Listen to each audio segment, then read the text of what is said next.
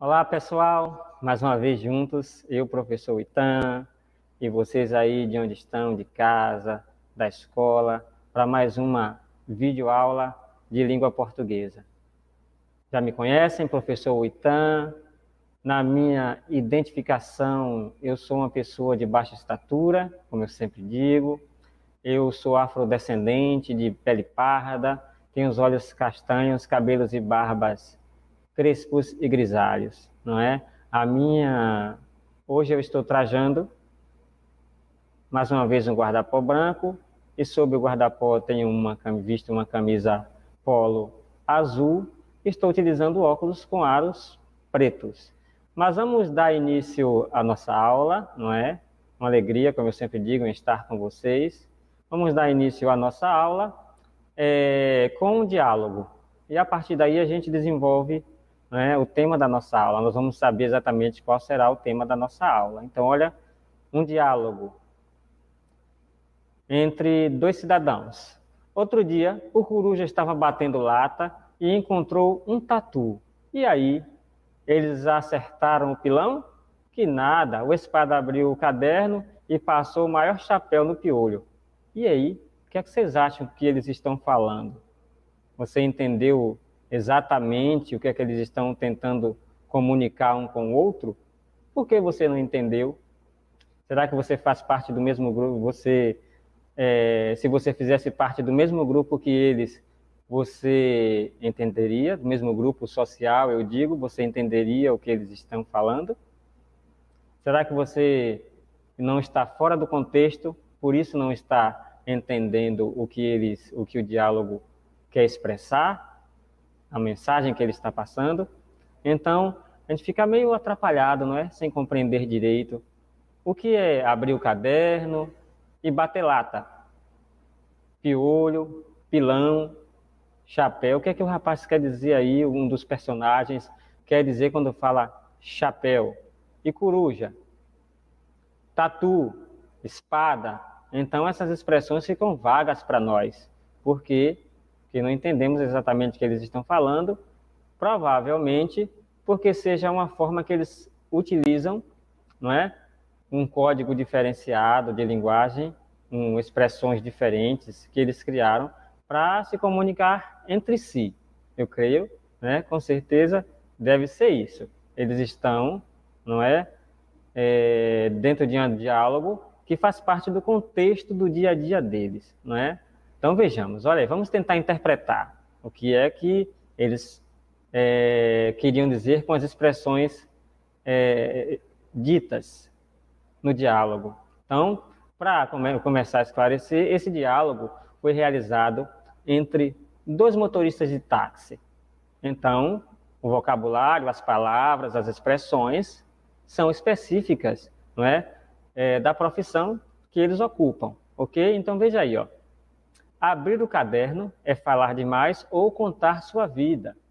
Bater lata, não é? lembra que o carro é de metal, ok? Andar com o carro vazio à procura de passageiro. Chapéu é golpe.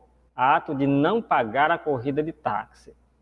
Taxista, é, coruja, é o taxista que trabalha à noite, de madrugada. Espada é o passageiro difícil de enganar. Pilão, corrida é, prefixada ou seja, o que, que acontece? O motorista ele dá o valor da corrida sem utilizar o taxímetro, que é aquele mecanismozinho, aquele aparelhozinho do táxi que conta o valor, não é que no final da, da, da, da viagem vai dizer o valor que o motorista, ou melhor, que o passageiro tem que pagar. Piolho é taxista que assalta o passageiro, até mesmo a mão armada. Tatu, passageiro inocente, vítima creio que agora a gente poderia, a gente dá, dá para a gente entender um pouco o que o diálogo, não é, quer dizer. Outro dia o coruja estava batendo lata e entrou um, é, encontrou um tatu, ou seja, o motorista de táxi, né, que é esperto, estava lá com o carro vazio procurando passageiros e de repente ele encontra um tatu que provavelmente seria um passageiro inocente. E aí eles acertaram o pilão, olha aí o que, é que aconteceu. Lembra que pilão é fazer, para estabelecer o valor sem, sem o taxímetro, não é? Sem é, consultar o taxímetro. Que nada, o espada, que é o passageiro difícil de se enganar, abriu o caderno, falou, conversou, contou sua vida e passou o maior chapéu no piolho, ou seja, ele, ele quem enganou o motorista de táxi, que era um motorista de táxi é, desonesto, ok? Então, essa aí, isso daí são expressões que são utilizadas em um determinado ambiente, como eu já disse, em um determinado grupo social, no caso os taxistas, que eles se utilizam para se comunicar entre si, ok? Então, de que é que nós estamos falando? De gírias, ok? Mais à frente nós vamos falar também sobre estrangeirismos. Então, o que é que nós vamos aprender hoje? Nós vamos reconhecer, valorizar as variações linguísticas, sua finalidade de uso de interação e combater o preconceito linguístico, porque geralmente a gíria é considerada linguagem de malandro, mas na verdade não é, porque em todos os ambientes sociais, profissões, etc., em qualquer ambiente que nós estejamos, existem as gírias nas nossas conversas. Nós utilizamos tanto as gírias, as gírias que parece que elas fazem parte, são coisas, são expressões normais do nosso dia a dia, não é? Nós nem nos damos conta de muitas vezes que são gírias. Mas, para começar, veja se vocês reconhecem, não é? O que esse moçinho aí, esse rapaz, no, esse brother aí no vídeo vai falar, não é?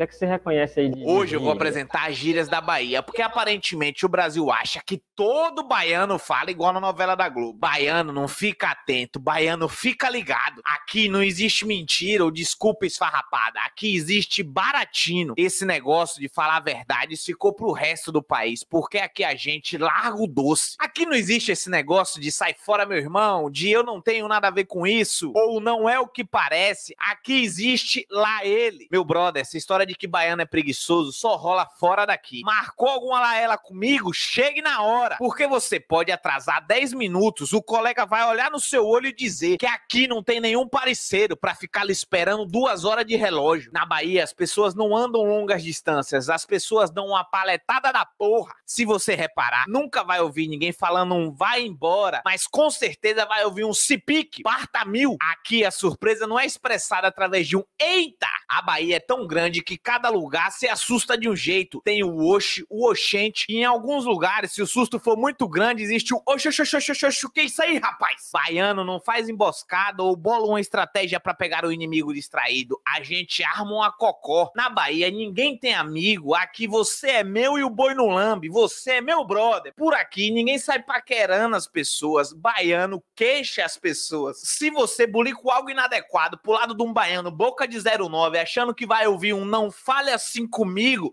tá enganado, porque tem a grande chance de você ouvir um me respeite, feche sua cara, se põe em seu lugar, que eu não lhe dê essa ousadia. O que, é que vocês acharam? Se identificaram alguma expressão que vocês utilizam no dia a dia? Então, são gírias aí que nós utilizamos aqui na nossa região, na nossa cidade, e também que a gente pode encontrar em outras é, cidades, regiões do nosso estado, né? São gírias utilizadas por nós praticamente todos os dias na nossa comunicação, pois a língua é criativa, não é? Então, a gente é, utiliza dessa versatilidade da língua, dessa criatividade da língua para criar expressões, para tornar a linguagem um estilo mais, muitas vezes engraçado, muitas vezes é, é, diferente, não é? Então, a língua é criativa e traz essas possibilidades. O que acontece é que a gíria, ela se enquadra dentro das variações linguísticas. Se você quiser saber um pouquinho mais sobre variações linguísticas, já gravei um vídeo sobre o tema, não é? Esse é o segundo vídeo sobre o tema, variação linguística, mas a gente está especificando mais a gíria e o estrangeirismo, ok? Então, variação linguística nós já sabemos, como eu já falei, a nossa língua é criativa, e são, a variação linguística, ela é, depende das regiões, depende do contexto social das pessoas. Então, a variação linguística, ela se utiliza da variação de sentidos da mesma palavra ou é, a mesma é, palavras diferentes podem expressar uma mesma coisa. Exemplos comuns é, dessas, dessa variação linguística, por exemplo, mandioca, aipim e macaxeira, não é? Elas são palavras que expressam a mesma coisa. Aquela raiz que a gente utiliza para cozinhar, para tomar café, né? para comer uma alimentação gostosa, a gente faz receitas com elas de várias, de várias maneiras. Então, mandioca, aipim e macaxeira é a mesma coisa, mas a depender da região, a gente utiliza uma dessas expressões. Aqui na região de Feira de Santana, a gente utiliza mais mandioca ou aipim, não é? E macaxeira, pouco, mas faz parte não é, da nossa cultura nordestina e cada localidade do Nordeste é, utiliza-se de uma dessas expressões. A mesma coisa acontece com a palavra tangerina, olha, tangerina, mexerica, bergamota. Então, há uma variação de palavras, mas se, se referindo à mesma coisa, ok? Então, a variação linguística, ela se dá de forma regional, histórica, estilística e social. Então, dentro é, a gíria, ela vai se enquadrar aqui, social, não é? De primeira mão, em primeira mão, a gíria, ela se enquadra na variação linguística social. Né? No caso de profissão, classe social, nível de escolaridade, esporte, tribos urbanas, idade, gênero, sexualidade, religião. Então, na questão social, a variação linguística se dá nesses ambientes, né? De profissão, de classe social, de nível de escolaridade, né? Quem tem um nível de escolaridade mais alto fala uma linguagem diferenciada de quem não estudou. Vai utilizar uma linguagem mais padrão, mais rebuscada, não é? Mais, vamos dizer assim, certinha, ok? Então, as profissões também têm suas, seus, seus devidos vocabulários. Por exemplo, você não vai utilizar um maçarico eh, numa, é, numa papelaria, por exemplo, não é? Então, é uma palavra que é utilizada dentro de uma oficina mecânica, por exemplo, não é? Quando se faz funilaria, ou seja, se, se recondiciona a chaparia do carro, não é? Você não vai utilizar palavras de uma oficina dentro da escola, passa aí o alicate, você vai dizer passa aí o, o marcador de quadro, você vai utilizar o apagador, lápis, caneta, não é? Então, cada, é, vamos dizer assim, setor social tem sua linguagem específica. E dentro dessas linguagens, específicas, também aparecem as gírias, não é? Em cada setor desse também vai, cada setor desse também vai ter sua gíria específica, como nós vimos na questão do diálogo em que dois motoristas de táxi conversavam.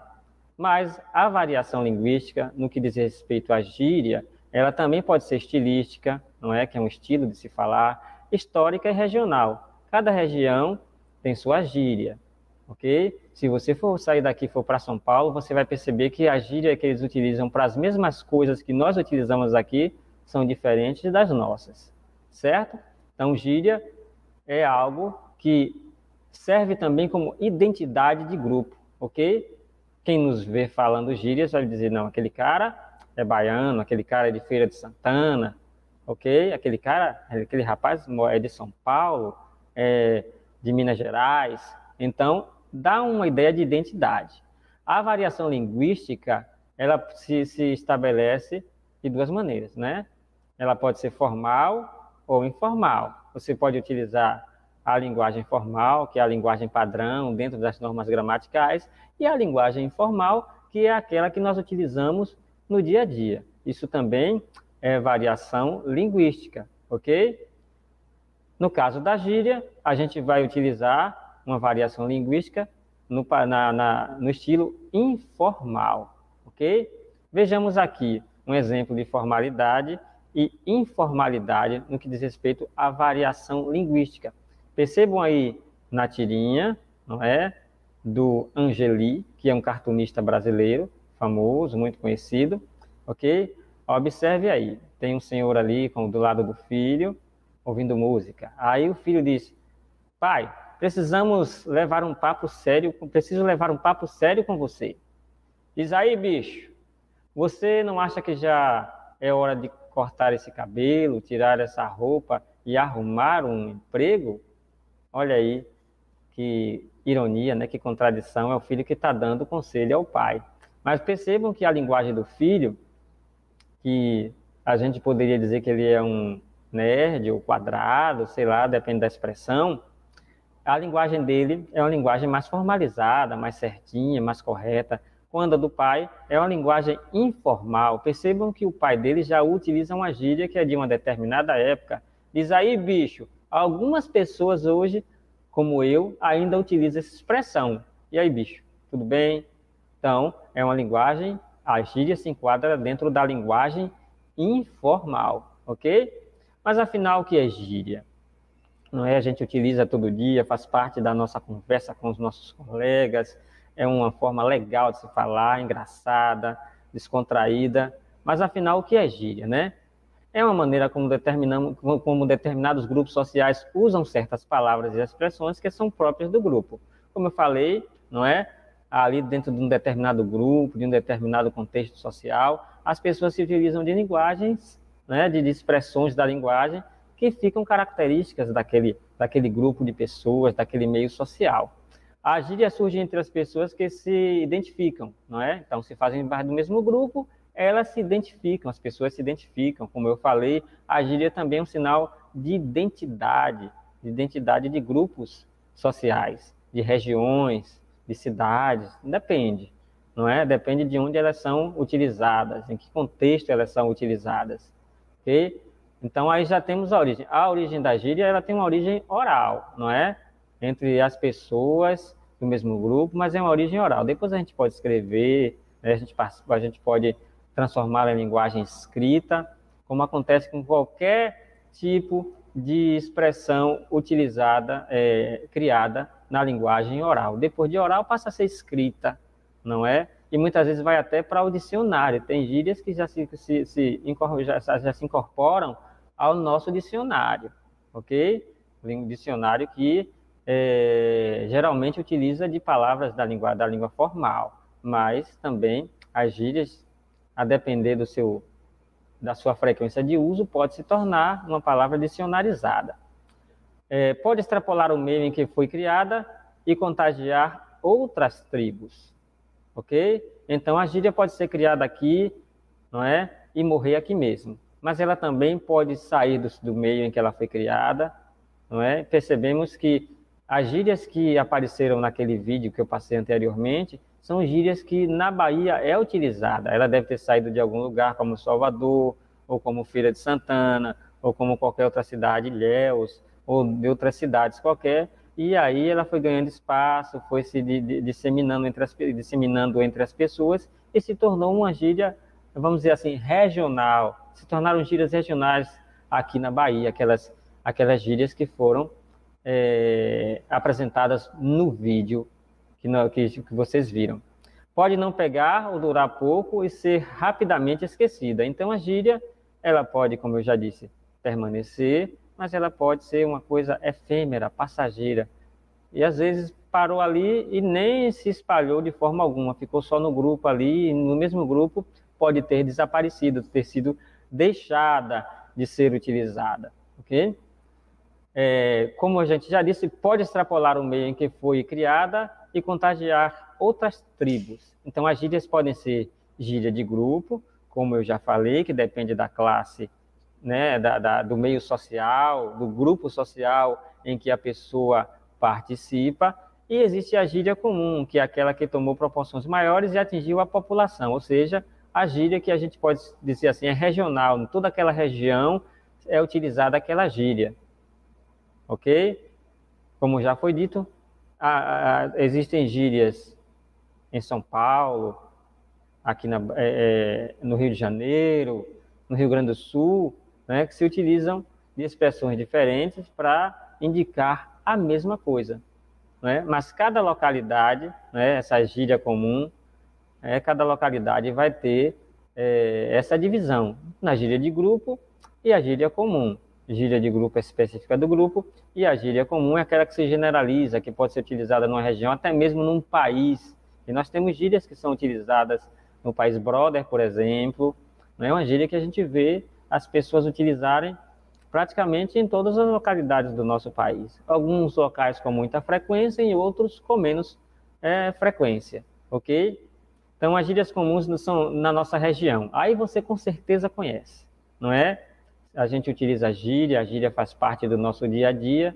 Então, eu separei daquele vídeo algumas gírias que realmente é, são gírias regionais, são gírias que são comuns a nós, não é? aqui na Bahia, ou algumas no Nordeste, ok? Então, ficar ligado, que nós já sabemos, que é ficar alerta, não é? Ficar baratinado, se atrapalhar, largar o doce, é falar a verdade, dizer o que quer. A gente não utiliza muito aqui em feira, pelo menos eu não vejo essa expressão, largar o doce, não é? Então, mas é uma, uma gíria que é aqui da nossa localidade, da Bahia. Lá ele, com certeza, né, é geral aqui na nossa região. Parceiro, você não é meu parceiro. Né? O que, é que você tem a ver com isso? Você nem é meu parceiro, não tenho nada com você. É uma gíria muito comum. Dar uma paletada, né? a gente anda muito, dá uma paletada. Oxe! Oxe, aí no vídeo foi considerado gíria, pode ser considerado gíria, mas ela, na verdade, seria uma interjeição, né? uma interjeição que são aquelas expressões que a gente utiliza quando tem determinados é, é, sentimentos, ou, por exemplo, oxi, pode expressar surpresa, não é? Como, por exemplo, ué, que pode representar também uma surpresa, mas é que se enquadra naquilo que se chama de interjeições, né?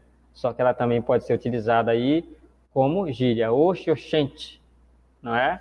A gente utiliza muito, mas essa é uma expressão que já é maior do que a expressão que baiana, ela é uma expressão, é uma expressão nordestina, não é? Abrange um ambiente, um espaço é, geográfico muito maior, o Oxe. O Oxe é uma expressão nordestina, não simplesmente baiana, mas nordestina. Armar uma cocó, não é?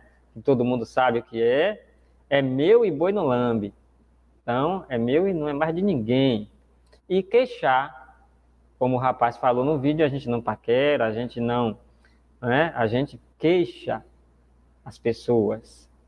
Não é assim? Na hora da paquera, não é? Paquera também já é uma gíria.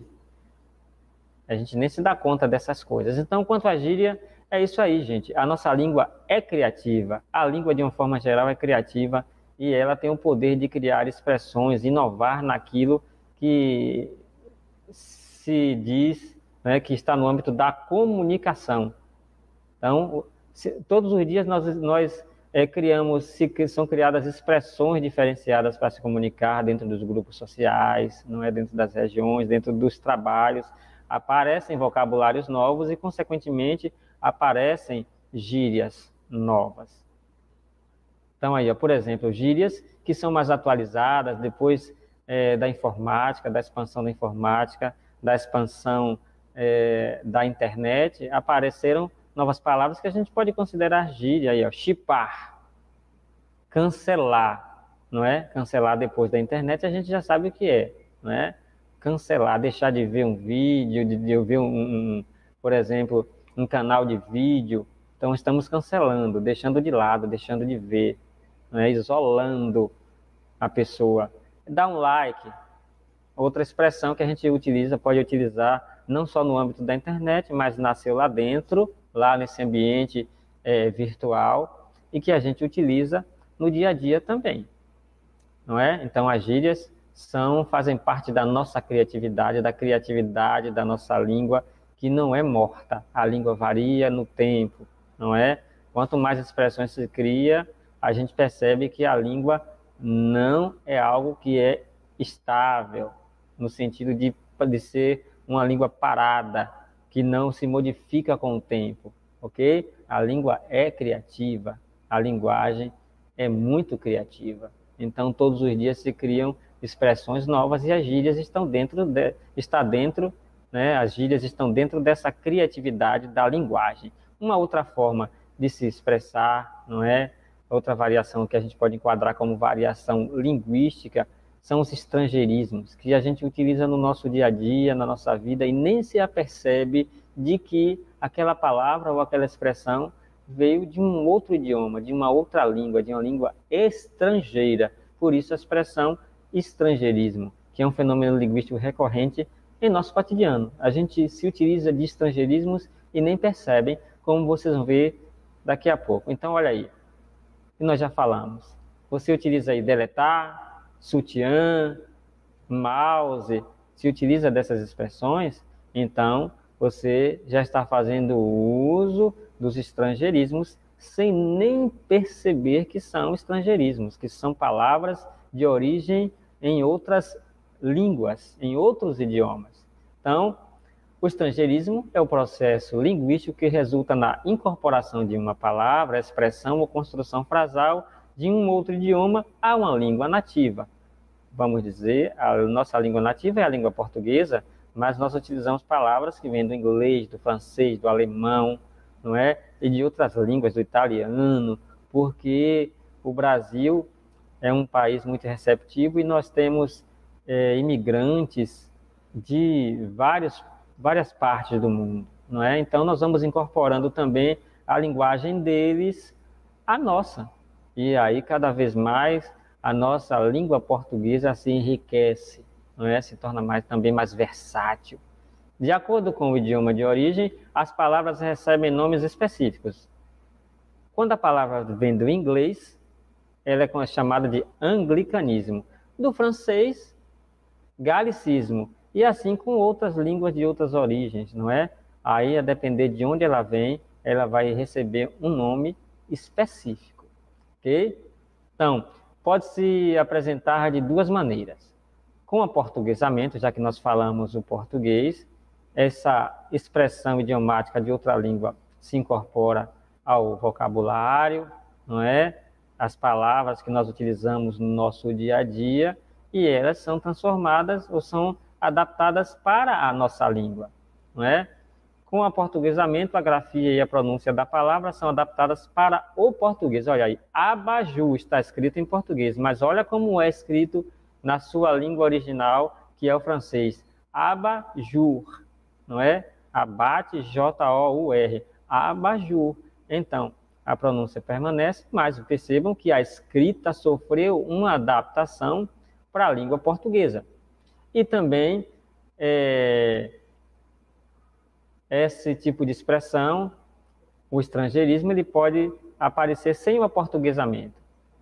Conserva-se a forma original da palavra. Olha aí, mouse, como se escreve mouse, como se fala. Então a gente faz da mesma forma aqui no português, não sofreu aportuguesamento. Nós escrevemos mouse dessa forma aí, como é escrita no inglês. É provável que com o decorrer do tempo, essa palavra sofre algum portuguesamento, não é? Então, mas por enquanto, ela é utilizada na escrita da, em português da mesma forma que ela é utilizada na escrita em inglês, ok? E aí mais alguns exemplos de estrangeirismos que a gente nem percebe, né, utiliza no nosso dia a dia, mas nem se dá conta de que são palavras que vêm de um outro idioma de uma outra língua. Olha aí, futebol é uma palavra inglesa, basquetebol também é uma palavra inglesa. Abajur, francês. Sutiã também francês. Olha como é escrita, soutien, sutiã, ok? A pronúncia lá é sutiã. A escrita é diferente, mas a pronúncia é a mesma. Batom, também do francês, não é? Que batom tem, no francês tem duas interpretações. Batom, simplesmente a palavra batom, é um bastão qualquer um bastão de beisebol, que também beisebol é uma palavra inglesa, né? Mas se você quisesse expressar o batom que é utilizado pelas mulheres para deixar é, mais sensual, mais bonitos os seus lábios, seria batom rouge, ou seja, bastão vermelho, que é a mesma coisa que batom. Bege, que é uma cor que a gente utiliza, olha a escrita dela em francês e como nós utilizamos aqui bife, também uma palavra em inglês, a gente nem se apercebe dessas coisas. Esporte. Então, as gírias né, e os estrangeirismos são expressões que fazem parte da criatividade né, da nossa língua. A língua portuguesa, como qualquer outra língua, é muito criativa. Todos os dias aparecem expressões novas que, que faz com que a nossa língua se torne mais agradável, né, de se falar, mais agradável para se dialogar, mais interessante, com um estilo mais muitas vezes engraçado, não é? Mas que traz prazer na hora da nossa comunicação, ok? Então podem se fartar, se utilizar de gírias, de estrangeirismo, como vocês quiserem, porque isso não vai depreciar a nossa língua, e sim enriquecê-la, ok? Já que faz parte do nosso dia a dia, vamos deixar os preconceitos de lado e usar não é, a nossa criatividade na hora da nossa comunicação. Ok, pessoal? Então, muito obrigado. Até mais. Um abraço forte em todos. Tchau, tchau.